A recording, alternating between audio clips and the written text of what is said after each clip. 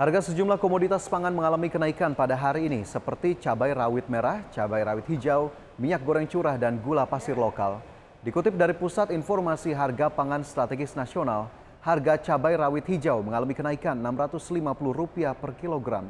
Sementara harga cabai rawit merah juga tercatat mengalami kenaikan sebesar Rp200 per kilogram.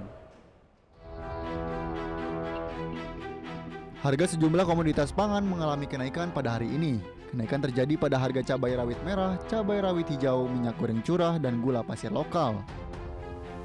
Dikutip dari Pusat Informasi Harga Pangan Strategis Nasional, harga cabai rawit hijau mengalami kenaikan Rp650 per kilogram menjadi Rp54.150 per kilogram. Harga cabai rawit merah juga tercatat mengalami kenaikan sebesar Rp200 per kilogram menjadi Rp70.800 per kilogram. Sementara itu harga minyak goreng curah naik Rp50 per kilogram menjadi Rp15.100 per kilogram.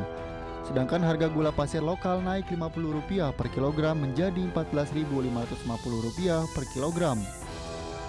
Di sisi lain, harga bawang merah ukuran sedang, cabai merah besar, cabai merah keriting, serta minyak goreng kemasan bermerek 1 dan minyak goreng bermerek 2 mengalami penurunan.